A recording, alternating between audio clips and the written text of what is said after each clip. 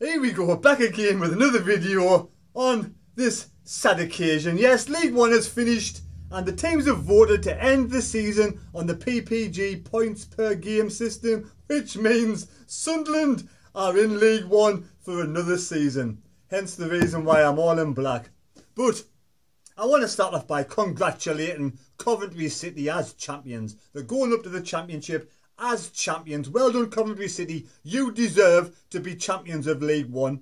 You put Sunderland in their place. You beat us 1 0 at your home ground, which was actually not your home ground. It was the city. It was Birmingham St Andrews ground. So you had a brilliant season. You haven't had a stadium. You played every single game, basically away.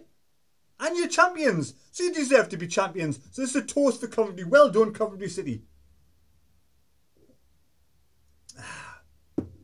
And Rotherham, well done, Rotherham United. They've gone up in second place. Now, the playoffs go to Oxford, Fleetwood, Portsmouth, and Wycombe.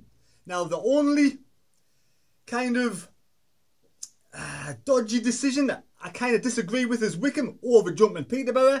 I kind of think there has to be another system where Wycombe could play Peterborough in a mini playoff to reach the playoffs. But anyway, still, congratulations to Wycombe getting to the playoffs. So those playoffs will be taking place sometime in the future and Sunderland and Peterborough miss out. But yes, Sunderland miss out, but Sunderland do deserve to miss out. They blew it over the last few games. We went to Coventry. We had a great opportunity. We lost 1-0. At home to Fleetwood, Joey Barton's Fleetwood, we absolutely bottled it, completely bottled it, and we only got a point in the dying seconds. And then at home to Gillingham, yet again, we're leading with seconds to go, absolute seconds to go. And it was like different to Fleetwood. We come, we clawed it back against Fleetwood.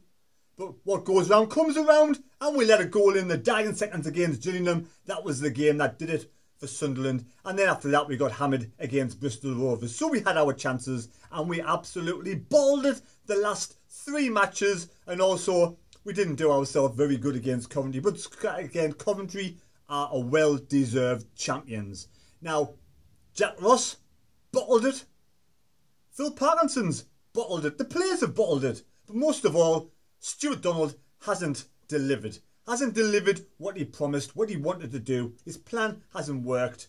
Now, for me, it's time for Stewart Donald to really have a long, hard think and find a decent buyer for Sunderland Association. It's your duty, Stewart Donald, as the owner of Sunderland Association Football Club, to do your last duty as the owner and find a good buyer to come in and so Sunderland can be taken over with someone who actually wants to show some passion, show some determination and actually have some coffers and some cash to get Sunderland up back into the championship and probably bring in a manager and some players who can actually do the job and not a bunch of bottlers. They're not all bottlers. We do have some decent players at Sunderland.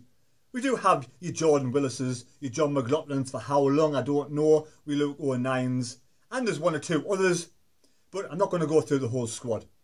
So again, well done Coventry, well done Rotherham, and well done the four teams in the playoffs. Sunderland do not deserve to be in the playoffs.